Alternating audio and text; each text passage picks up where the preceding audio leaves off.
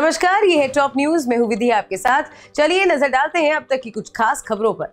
Corona महामारी लगातार अपने पाँव पसार रही है। दुनिया भर में खेलों के टूर्नामेंट या तो रद्द हो रहे हैं या तो स्थगित हो रहे हैं।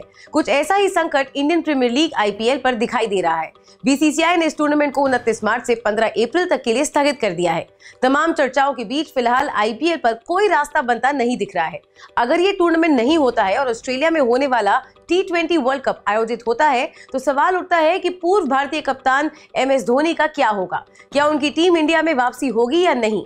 दरअसल दुनिया भर के क्रिकेट फैंस की निगाहें धोनी की वापसी के लिए आईपीएल पर लगी थी। कप्तान विराट कोहली और कोच रवि शास्त्री ने भी कहा था कि धोनी की वापसी पर आईपीएल तक इंतज़ार करना चाहिए। दूसरी ओर वीरेंद्र सहवाग ने कहा था कि अब टीम में बदलाव की ज़रूरत नहीं है। शास्त्री ने अपने बयान में कहा था कि धोनी खुद को टीम पर नहीं थोपते। धोनी निश्चित रूप से आईपीएल में खेलेंगे इसके बाद हम देखेंगे कि धोनी का शरीर किस तरह उनका साथ दे रहा है। अगर वो अच्छा करेंगे तो वो टीम में वापसी कर सकते हैं। अब चूँकि आईपीएल पर ही संकट है तो ऐसे में धोनी की वापसी भी खतरे में पड़ गई है। कोरोना वायरस के बढ़ते मरीजों की संख्या को देखते हुए बीएमसी ने साफ़ सफ़ाई पर ज़ोर लगा दिया है। मुंबई में सार्वजनिक स्थानों पर थूकने वालों से बीएमसी ने एक हज़ार रूपए जुर्माना वसूलना शुरू कर दिया है।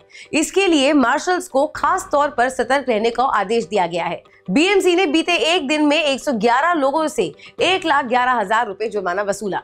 बीएमसी कमिश्नर प्रवीण परदेशी ने कहा कि भीड़ भाड़ वाले स्थानों पर थूकने से बीमारी फैलने की आशंका बढ़ जाती है। इसीलिए इसे रोकने के कड़े उपाय किए जा रहे हैं। उन्होंने बताया कि पहले सार्वजनिक स्थानों पर थूकने वालों से दो सौ जुर्माना वसूल किया जाता था, अब इसे बढ़ाकर हज़ार रूपए कर दिया गया है। उनका मानना है की जुर्माना बढ़ाने से लोग खुले में थूकने से बचेंगे। बुधवार शाम तक 111 लोगों से एक लाख ग्यारह हज़ार रूपए जुर्माना वसूला गया।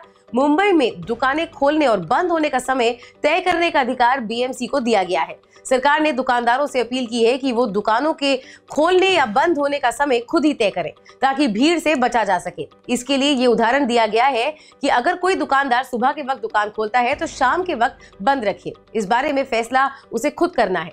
दुकानदार एक दिन दुकान खोलकर दूसरे दिन बंद भी रख सकता है। मेडिकल स्टोर, दूध, खाद्य पदार्थ, सब्ज़ी, किराने की दुकानों पर यह नियम लागू नहीं होगा। पाकिस्तान में कोरोना वायरस तेज़ी से लोगों को अपनी चपेट में ले रहा है। हालाँकि वहाँ की सरकार इसे लेकर कितनी गंभीर है, इस पर सवाल खड़े होने लगे हैं। दरअसल ईरान से पाकिस्तान वापस लौटे लोगों को बॉर्डर के पास ही क्वारंटीन किया गया है। जिस जगह पर इन लोगों को रखा गया है, वो कोई क्वारंटीन सेंटर नहीं, बल्कि तंबू है। तफ्तान क्वेटा लाइन के पास बड़ी संख्या में तंबू लगाकर इन लोगों को ऐसे हालात में रखा गया है जिससे सरकार और प्रशासन की किरकिरी हो गई है। सोशल डिस्टेंसिंग के लिए शहर बंद करने से इंकार कर चुकी सरकार आखिर कैसे इस स्थिति से निपटने की कोशिश कर रही है, ये एक बड़ा सवाल बन गया है। क्वारंटीन के नाम पर बनाए गए कैंप्स में सीमित मेडिकल सुविधाएँ हैं। जैसे हालात यहाँ हैं, उनसे लोगों के मन में बीमारी के और फैलने का डर भी पैदा हो गया है। कैंप में रखे गए एक शख्स का कहना है कि अगर उन्हें कैंप पहुँचने से पहले वायरस इन्फेक्शन नहीं हुआ और कैंप पहुँचने के बाद वो पॉजिटिव निकले तो उन्हें आश्चर्य नहीं होगा। वहाँ रखे गए लोगों ने बताया है कि पानी या फ्लश की सुविधा भी नहीं है।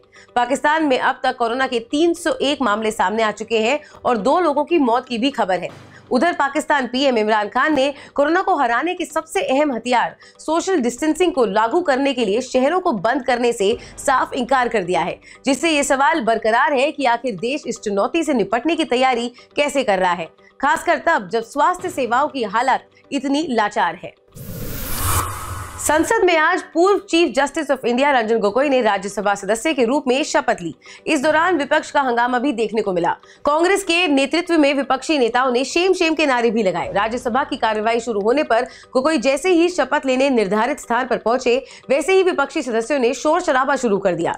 विपक्ष ने सदन से वॉकआउट भी किया। कानून मंत्री रविशंकर प्रसाद ने पलटवार करते हुए कहा कि कई पूर्व सीजेआई और मशहूर हस्तियाँ इस सदन का हिस्सा बन चुके हैं। आपको बता दें कि राष्ट्रपति रामनाथ कोविंद कोविंद ने सरकार की अनुशंसा पर सोमवार को गोगोई को राज्यसभा के लिए मनोनीत किया था। विपक्ष ने गोगोई को राज्यसभा के लिए नमित किए जाने की कड़ी आलोचना की है। ये है अभी की कुछ खास खबरें और खबरों के लिए जुड़े रहिए एनबीटी ऑनलाइन के साथ। सब्सक्राइब कीजिए नवभारत टाइम्स का यूट्यूब पेज और लाइक कीजिए नवभारत टाइम्स का फेसबुक पेज।